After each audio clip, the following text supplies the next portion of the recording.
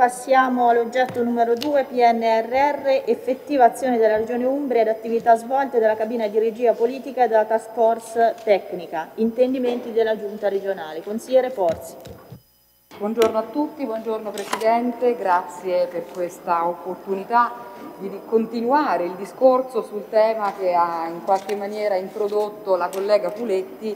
e che eh, ci vede, mi vede sicuramente in un'ottica di forte collaborazione e di stimolazione come è giusto che una forza di opposizione faccia. Tornerò magari forse nel tempo della replica sugli argomenti che lei ha sottolineato Presidente e che mi fa piacere verificare eh, quindi constatare mh, la domanda che io le voglio porre è, eh, come avrà visto dal documento che ha sicuramente esaminato, l'azione svolta appunto dalla cabina di regia, perché questa cabina di regia, proprio per le cose che lei ci ha appena illustrato, sia di quanto è stato fatto, sia di quanto potrà essere fatto da qui in avanti, rappresenta quello strumento eh, condizio sine qua non eh, riusciremo a capitalizzare al massimo da questo straordinario diciamo così, eh, momento che stiamo vivendo della ripresa e della resilienza che speriamo ci renda una regione resiliente capace di eh, intervenire in maniera massiccia e forte su quelle che tutti definiamo carenze storiche di questa regione, carenze che per quello che mi riguarda non sono legate a fatti e a momenti come qualcuno vuol far credere, ma anche e soprattutto a struttura e eh, conformazione della nostra regione. Quindi nel documento del, illustrativo del PNRR della Regione Umbria eh, si legge che gestire questa mole di finanziamenti vuol dire di dotarsi di una capacità programmatica e amministrativa e di dover dar luogo ad una tempestiva azione di semplificazione delle norme e delle procedure, realizzando una nuova stagione di cooperazione tra le amministrazioni e il territorio e tra soggetti pubblici e privati, un percorso preparatorio che l'Umbria ha già avviato. Ecco, forse non ne ho contezza io e una delle domande che le pongo è se ci sono stati atti amministrativi volti a eh, diciamo così, eh, semplificare le norme e le, e le procedure, eh, perché queste rappresentano logicamente un grande ostacolo, volte anche a sollecitare quella cooperazione tra soggetti pubblici e privati che ehm, venivano ricordati nella premessa che le ho letto. Le risorse del Recovery Fund vengono, eh, vedono una forte concentrazione sulla transizione green, sull'esperienza sull digitale e sul fatto che siano fattibili entro il 2026.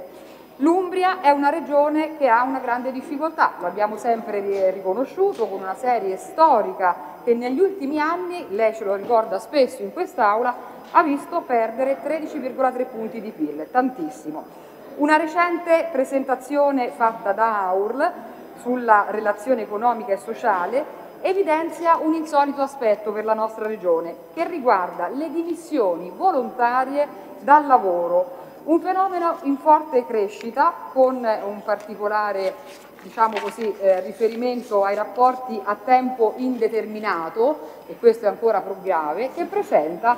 in Umbria uno dei trend in aumento, a un ritmo doppio di quello al mm, livello nazionale.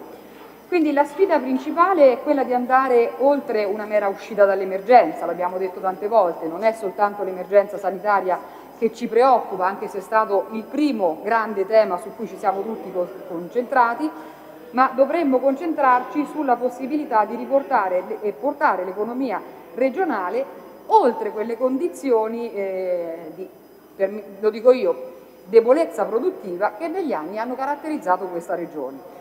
Le previsioni presentate nella relazione per il 2022 vedono gli, Umbri, gli Umbria, quindi i nostri cittadini, agli ultimi posti come incremento del PIL e quindi questo sembra confermare i timori che portano ad una stagnazione. Sarebbe possibile sostenere la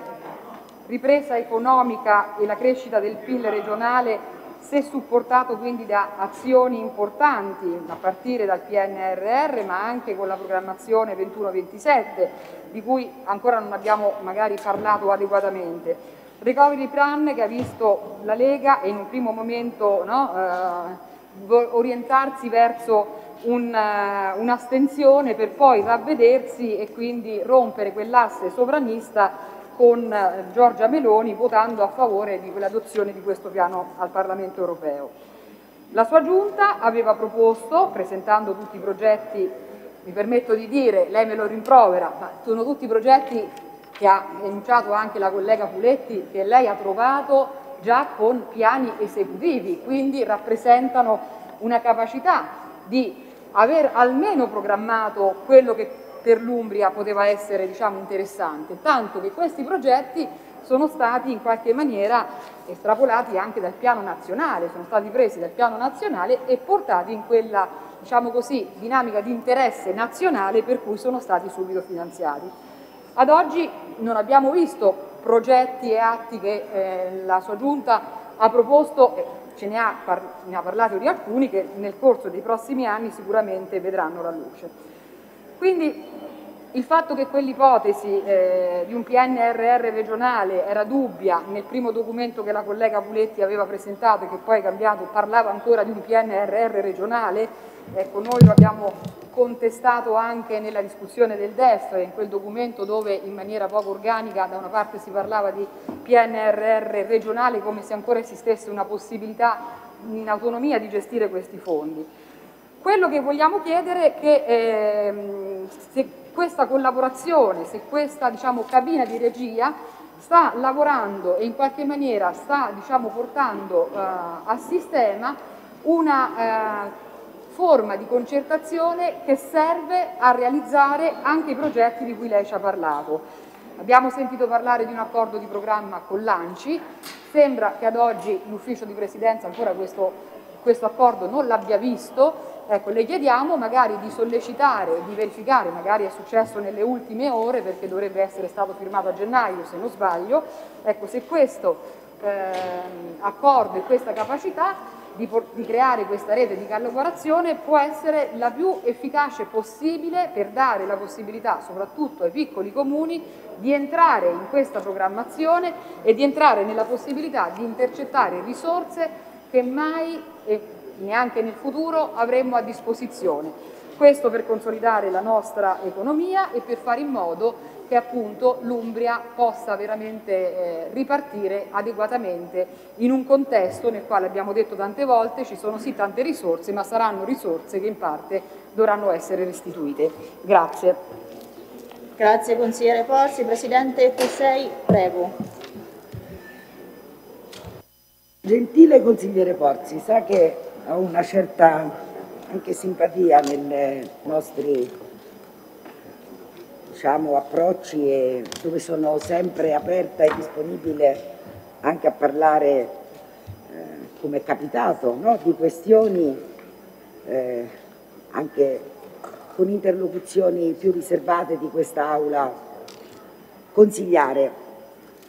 E io non è che lei continua a ripetere alcune cose e dice che io continuo a ripeterne altre, eh, come quella dei progetti che avevate preparato, però io non vorrei, perché non è nel mio stile entrare eh, in polemica, però se continuiamo a ribadire certi concetti che ormai sono stati eh, reiteratamente sottoposti, io devo per forza eh, rispondere perché è una risposta che è inevitabile, è irre ipsa. Lei ha parlato, ribadendo la debolezza della nostra regione, il calo del PIL certificato dal Sole 24 Ore, non certo da me, che è l'ultima regione italiana eh, al 2019, però dice anche, ho sentito dire stamattina nella sua interlocuzione, che questa è dovuto, la causa è dovuta alla struttura e alla conformazione della nostra regione. Ho capito bene? Penso di sì. È un passaggio che è stato fatto e io ne prendo atto, ma vede, così rapporti, noi non potremo cambiare la struttura e la conformazione della nostra regione. Noi, avuto riguardo alla struttura e alla conformazione della nostra regione, ci stiamo attivando, per esempio, per renderla accessibile, per toglierla da un isolamento drammaticamente colpevole, perché se avevate fatto i progetti, mi riferisco specialmente a tutto quello che riguarda la mobilità, e l'avete tenuto in un cassetto perché non siete stati capaci di farvene finanziare uno, il problema dell'Umbria e il problema economico dell'Umbria è strettamente connesso anche a questo. Quindi abbia pazienza, ma questo credo che sia una puntualizzazione doverosa. Quindi è un po' con rammarico che sento ripetere le stesse cose. Noi abbiamo fatto un'azione molto forte per arrivare a questi già primi risultati e come ho spiegato prima, per cui non mi riporto a tutto quello che ho detto prima perché sarà stato attento, avrà compreso perfettamente, conto di riportarne degli altri. Da subito ci siamo mossi, ancora prima della pandemia e questo l'ho ribadito lo voglio tornare a ribadire. Bene, ci sono anche altre considerazioni che sono state fatte in questa interrogazione. Il PNRR è sicuramente un'immensa possibilità di rilancio per il nostro Paese tutto, un cambio di passo nella politica economica europea che alcuni partiti hanno richiesto per anni, che ci rende tutti europeisti perché ritrova lo spirito dei padri fondatori in questo momento, non prima, ma anche un immenso debito, e ne siamo assolutamente consapevoli, che ricadrà su di su di noi e sui nostri giovani, che sono già così sofferenti, anche in Umbria, per quanto non si è potuto progettare e realizzare per loro. E ecco, quindi questo, con questo spirito noi dobbiamo vivere il PNRR. Ci vuole uno sforzo unitario, al di là dei colori politici, per realizzare qualcosa di valido ed efficace per la nostra comunità. E questo è lo spirito con cui io l'ho affrontato tutta la mia giunta. Davvero non riesco a capire come non ci si riesca a stringere e ad unirci intorno a dei risultati che al momento sono oggettivamente buoni per la nostra Regione su questo tema, che vanno a vantaggio di tutti, e certamente non mio o della Giunta, ma sono richiesti e vanno a vantaggio dell'Umbria. Questo è il tema e che io, sul quale inviterei tutti veramente a dare una mano e a, e a esserne consapevoli, perché poi tante cose passano in questo Consiglio, passano sicuramente, sono sostenute dalla maggioranza, con cui le abbiamo condivise e stiamo condividendo questo percorso, però in ballo c'è il presente e il futuro della nostra regione, drammaticamente compromesso, purtroppo, perché i dati sono chiari ma nello stesso tempo impietosi. Ora richiamo integralmente la risposta che ho dato e credo che eh, non sia no, utile e, e credo che sia una perdita di tempo ripercorrere quello che ho detto. Però voglio precisare, con l'ANCI è già stata sottoscritta una convenzione. Io non so se l'ufficio di presidenza lo sa o non lo sa, ma è stata sottoscritta, ma tanti comuni la conoscono, quindi non so se è sfuggita a qualcuno dell'ufficio di presidenza. Può essere. La cabina di regia regionale è la giunta regionale, democraticamente scelta dagli Umbri e sostenuta dal Consiglio regionale. L'Umbria è stata una regione in difficoltà ma lo è stata dal 2000 al 2019. Ribadisco i dati del Sole 24 Ore così non ce li dimentichiamo e da lì ripartiamo per ricostruire l'Umbria. E non ci dobbiamo nemmeno scordare quello che è avvenuto nel 2020 in piena pandemia e 2021. L'Umbria ha retto molto meglio anche della media nazionale all'impatto della pandemia del 2020 sta crescendo nel 2021. La mia, la nostra preoccupazione è quella di, questa, è di rendere questa crescita strutturale. Lo possiamo fare attraverso sicuramente il PNRR, ma lo abbiamo fatto attraverso l'utilizzazione di quei fondi europei della passata programmazione. Purtroppo non spesi, o spesi male, perché l'impatto sull'economia non c'è stato E questo percorso lo condividiamo con tutti gli stakeholder, lo condividiamo con gli imprenditori di questa regione, con Confindustria piuttosto che con la CNA, che anche da poco è uscita. Quindi questa condivisione di percorso e di visione c'è, c'è tutta. I partiti della nostra maggioranza sono stati sempre convintamente al fianco di, queste, di questo percorso e, e continuano ad esserlo, perché siamo tutti convinti che in questo momento ci vuole grande senso di responsabilità che dobbiamo ai cittadini umbri perché non possiamo disperdere le opportunità che ci possono essere date. I famosi 45 progetti utili del primo eh, e del PNRR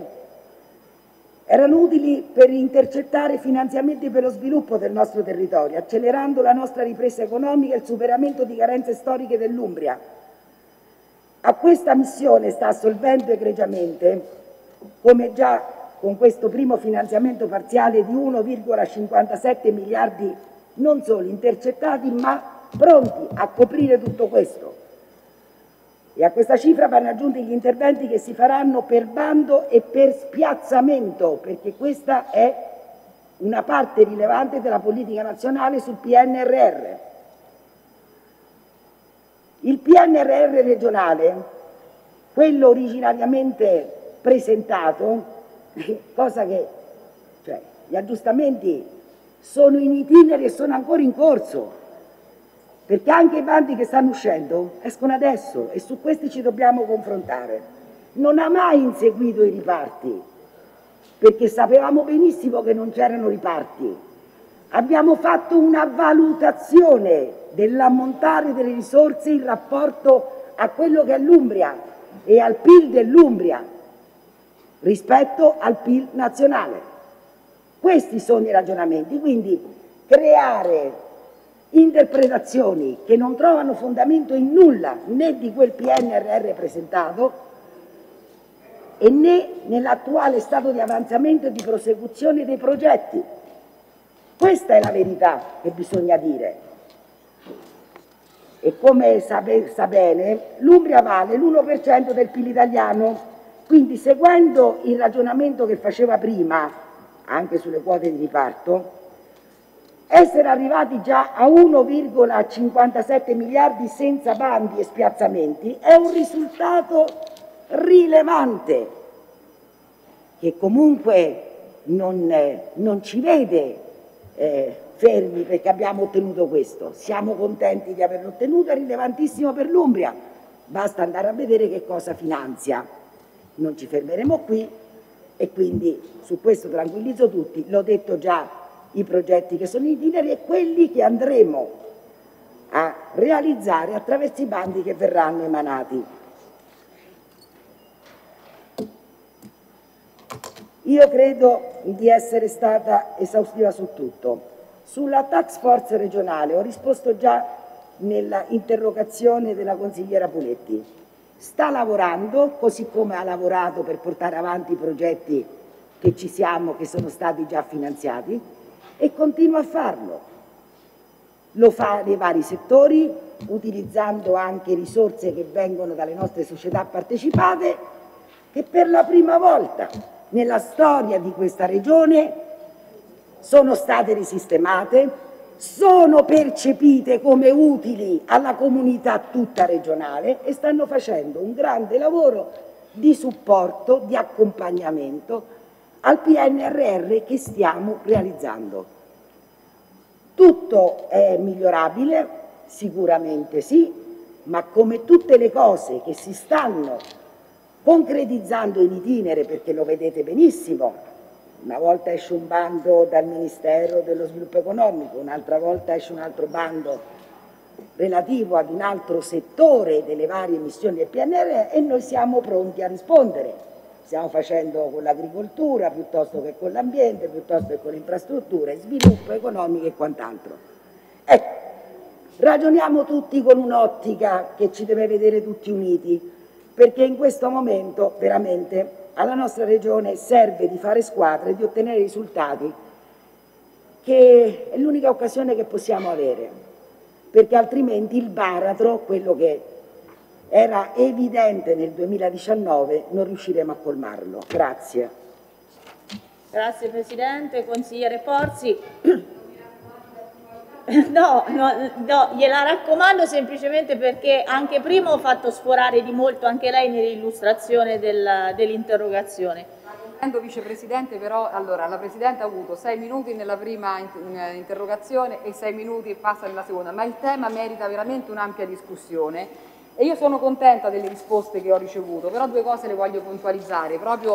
per la cortesia, per la stima e per eh, il modo in cui spesso noi colloquiamo. Allora, nel mio atto, l'atto che io ho presentato sul tema, non c'è un riferimento ai progetti che invece la consigliera Puletti, che adesso non è in aula, ha elencato. E siccome voi avete parlato di quei progetti come i progetti finanziati dalle risorse che finora sono atterrate in Umbria grazie alla vostra interlocuzione con i ministeri, spetta a voi fare questo lavoro, dopodiché una collaborazione non è stata mai, diciamo così, negata, ma anzi siamo tutti dalla stessa parte, quindi nella mia interrogazione lei non legge cittadella giudiziaria di Perugia, il rifacimento della FC San Sepolcro Terni, il completamento della,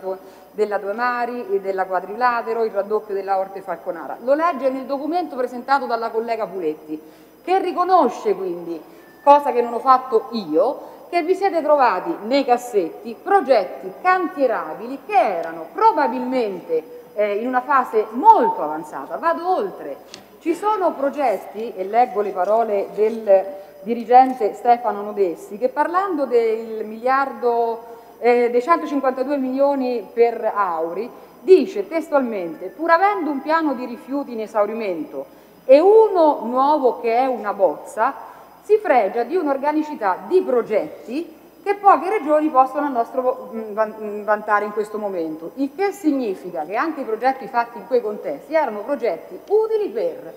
Poi vado sul tema che lei giustamente rimprovera, ma qui io mi permetto di ricordarle che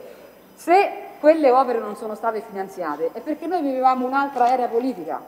c'era un quadro normativo nazionale con monti, vincoli di bilancio, l'Europa aveva altre regole che oggi non esistono. Certo che siamo d'accordo che questa è una occasione straordinaria. E quando io dico che il PIL è un PIL, lei dovrà eh, riconoscere la mia onestà intellettuale, nei miei documenti non legge l'assenza di, di valori che mettono in evidenza le criticità dell'Umbria. Ma rivendico il fatto che su quelle criticità i progetti per uscire dall'isolamento colposo eh, erano legati alla disponibilità di soldi, non c'erano, non c'erano. Ha fatto riferimento ai fondi europei non spesi nella passata legislatura. Allora, o spesi male e su questo lei al suo giudizio lo tengo come e lo rispetto, ma dimentica che quei fondi dopo due mesi il vostro ingresso hanno avuto uno svincolo totale dalla destinazione d'uso, e soprattutto non hanno più avuto la necessità di essere cofinanziati da un bilancio regionale che è quello della Regione Umbria, non è quello della Regione Lombardia. Quindi vi avrebbe potuto permettere di fare 2000 cose che a nostro avviso non sono state fatte, mi ci ha portato lei su questo ragionamento, non l'avrei mai, mai affrontato in questo contesto e che ci siamo permessi di criticare nel nostro ruolo. Dopodiché sulla gestione della sanità oggi lei dice che abbiamo retto meglio di altri, contentissimi di essere stati zona bianca, le criticità le abbiamo più volte sollevate, ma qualche giorno fa l'assessore Coletto scriveva sul giornale, penso che erano parole sue, di un debito consistente che dovrà essere, speriamo, coperto dalle risorse nazionali. Quindi la mia interrogazione era volta a sollecitare il buon funzionamento di questa task force volta semplicemente a capitalizzare tutto quello che può essere possibile in questa occasione d'oro e irripetibile. I, tutto il resto viene dalla discussione che è stata fatta con la collega Puletti, che ha fatto un'interrogazione mettendo in evidenza alcuni progetti, non mi sono potuta esimere dal commentare che questi progetti non prevedono un atto amministrativo di questa Giunta e la domanda che mi pongo siete stati nella gestione di un'emergenza, Come avreste fatto senza questa disponibilità di progetti? A questo punto la mia sollecitazione nasce, la mia curiosità nasce da quello che ho ascoltato prima, ma la mia raccomandazione per quanto concerne l'interrogazione e l'atto che ho voluto presentare, quindi spero che lei ne abbia colto l'auspicio, la volontà Ecco, non avendo avuto nozione di semplificazioni, sburocratizzazione per quello che consente a voi e alla giunta regionale, mi chiedo e vi chiedo, facciamo in modo che veramente questo tempo che rimane a disposizione di questo nostro eh, consiglio, di questa, di questa amministrazione, possa essere capitalizzato al massimo per il bene dell'Umbria. Grazie. Oggetto numero 7, interroga il consigliere Bettarelli, risponde. Risponde l'assessore Morroni. Prego, consigliere Bettarelli. Sì, grazie. Eh, L'interrogazione è piuttosto semplice e quindi la farò abbastanza breve anche perché più che la domanda mi interessa la risposta, quindi utilizzerò i minuti a disposizione che sono concessi a differenza di tanti altri che invece ne usano sempre molti di più. Comunque eh, l'interrogazione appunto è relativa agli intendimenti circa la volontà di revisione della legge regionale numero 12 del 2015 e in particolare il testo unico appunto in materia di agricoltura. Questa interrogazione fa riferimento in modo particolare ad una serie di articoli, di incontri avvenuti in modo particolare con l'associazione Tartufai, ma vuole eh, fare un po' il punto rispetto ad una legge eh, piuttosto articolata e anche dire, eh, complicata perché deve eh, contemperare le giuste esigenze di chi fa libera cerca con le giustissime esigenze di chi fa impresa e che quindi genera reddito eh, appunto eh, in termini di, di, imprenditoria. Quindi è ovviamente una normativa eh, che gioco forza è complicata che deve tenere insieme diversi interessi. Questa interrogazione è stata eh, depositata il 25 gennaio e come eh, prima considerazione eh, mi ha fatto molto piacere che a seguito questa, del deposito, quindi semplicemente il deposito di questa interrogazione, si sia mosso tutta una serie di soggetti eh, politici, ma eh, a tutti i livelli, colleghi consiglieri, l'assessore, l'AFOR, eh, commissioni, ci sono state qui tutta una serie di eh, attenzioni rispetto ad un argomento che da quello che mi risultava era un po' sospeso a partire dal eh, 21 luglio 2021 quando ci eravamo visti in commissione. Ho letto che due colleghi eh, eh, fanno un comunicato stampa in cui ci dicono tartufaie controllate, libera cerca proposta di legge Lega, quindi colleghi Puletti e Mancini, cooperare per valorizzare il prodotto di eccellenza, si parla di un eh, regolamento, di una legge che io onestamente questa mattina non ho trovato ancora gli atti, ma sicuramente arriverà, ma al di là di quello che hanno fatto gli altri mi fa eh, piacere che si sia mosso, che siano stati incontri, magari poi nel dettaglio l'assessore li saprà ovviamente meglio di me, ci darà conto, si sia mosso qualcosa per far sì che questa eh, normativa tenendo insieme le esigenze di tutti, possa essere rivista, aggiornata, sentendo tutti i soggetti e tutte le, le, parti in causa. Quindi in buona sostanza sono a chiedere qual è lo stato di avanzamento rispetto ad un'eventuale, così come eh, comunicata, annunciata più volte, revisione della legge 12 e se eh, per eventualmente modificare questa legge eh, si intende aspettare quello che è il disegno di legge eh, parlamentare, il disegno di legge 810 che è in discussione ormai da anni a, a, alla Camera e, e, quindi quali sono i tempi di eventuale modifica se dobbiamo aspettare i, diciamo, la conclusione di, di quell'iter eh, legislativo a livello nazionale o diversamente se c'è la volontà e la voglia di mh, mettere mano sempre rispettando le esigenze di tutti, alla legge regionale. Prego, Vicepresidente Morroni. Presidente Consigliere Bettarelli, posso confermare che i lavori finalizzati all'aggiornamento della legge regionale la numero 12 del 2015 per quanto attiene alle norme in materia di raccolta, coltivazione, conservazione e commercio dei tartufi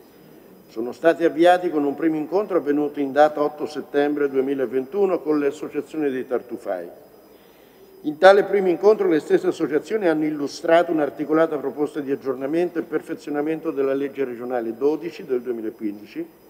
sottolineando come uno degli aspetti prioritari riguardi le modalità di riconoscimento, rinnovo e controllo delle tartufaie controllate, ovvero della superficie di terreno delimitabile sulla base di una presenza diffusa allo stato naturale di tartufi, la cui gestione è finalizzata ad incrementi produttivi, interventi manutentivi, miglioramenti e messa a dimora di piante tartufigene ed all'interno delle quali, una volta riconosciute con le procedure previste dalla legge, hanno diritto di proprietà sui tartufi prodotti i conduttori delle stesse tartufaie controllate. Analogamente in data 13 settembre del 2021 si è svolto un primo incontro anche con i rappresentanti dei tartuficultori titolari di tartufaie controllate e coltivate, i quali a loro volta hanno rappresentato le problematiche di maggiore rilevanza, fra cui anche in questo caso uno degli aspetti prioritari riguarda proprio le modalità di riconoscimento e rinnovo delle tartufaie controllate. La volontà di compiere un forte salto di qualità nell'azione della Regione in questo fondamentale settore per l'Umbria è ben evidente a tutti. Il progetto di filiera che ho voluto promuovere sta riscontrando un interesse da parte delle aziende agricole e degli operatori del settore ben oltre quanto ottimisticamente ci si potesse attendere. Questo forte slancio è finalizzato da un lato a non rimanere indietro rispetto ai consistenti aumenti delle superfici delle tartufaglie coltivate in corso in Francia e in Spagna e dall'altra a consolidare la filiera del tartufo nel suo complesso promuovendo un diverso e più forte legame fra i diversi anelli della stessa filiera, contribuendo in tal modo a riportare in primo piano il ruolo che l'Umbria può e deve rivestire in questo settore così strategico non solo in chiave produttiva ma anche per il valore aggiunto che può conferire all'immagine della regione come volano di sviluppo anche per il settore turistico. Ma accanto all'impulso che l'allargamento delle tartufaie coltivate può dare al ruolo dell'Umbria in questo settore, ho ritenuto necessario promuovere, attraverso i lavori per il perfezionamento della legge regionale, un salto di qualità anche relativamente alla tutela e miglioramento della produzione spontanea di tartufi, produzione alla quale è intimamente legata l'attività della ricerca e raccolta, il cui elevato valore storico e culturale ha portato a dicembre dello scorso anno al riconoscimento della cerca e cavatura del tartufo in Italia, conoscenze e pratiche tradizionali, nella lista del patrimonio culturale immateriale dell'UNESCO. I lavori di perfezionamento della legge regionale avviati nel settembre del 2021 sono quindi proseguiti con ulteriori incontri di approfondimento avvenuti in data 23 novembre del 2021 e 15 febbraio di quest'anno e si ritiene che sia possibile entro breve arrivare ad una sintesi in grado di perfezionare il delicato equilibrio tra ricerca libera, cerca e aspettative dei titolari dei terreni, equilibrio che come noto sta alla base della tutela e miglioramento della produzione spontanea del tartufo.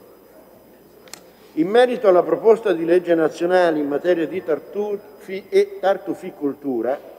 si evidenzia che un testo di modifica della legge 752 dell'85 è all'attenzione delle commissioni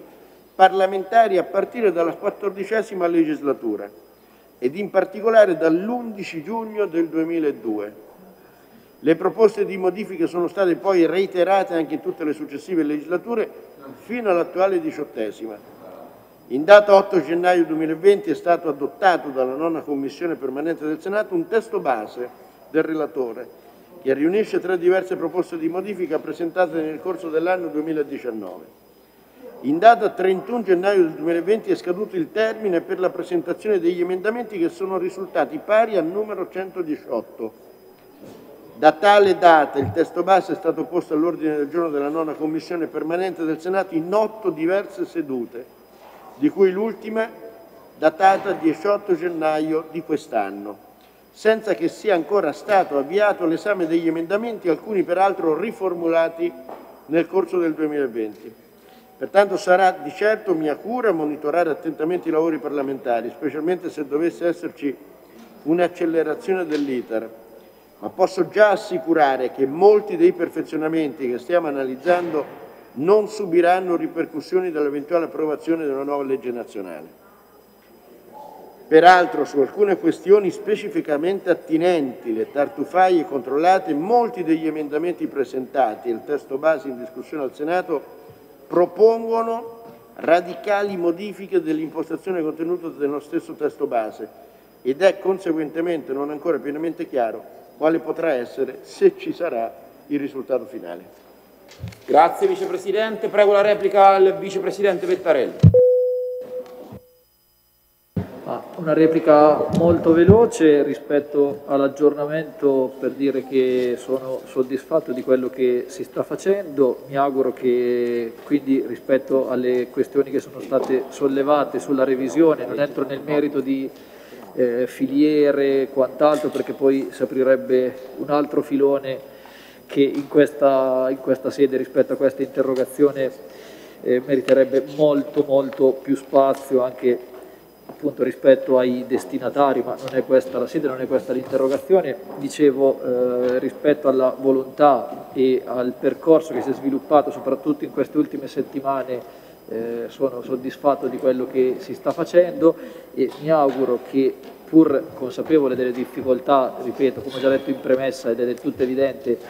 di eh, trovare risposte per esigenze molto diversificate, eh, mi auguro però che rispetto alle istanze che stanno arrivando ci sia appunto la volontà di metterci mano, come ci è stato detto, tutto sommato, quindi rispettare questa, questo impegno in tempi e modi certi.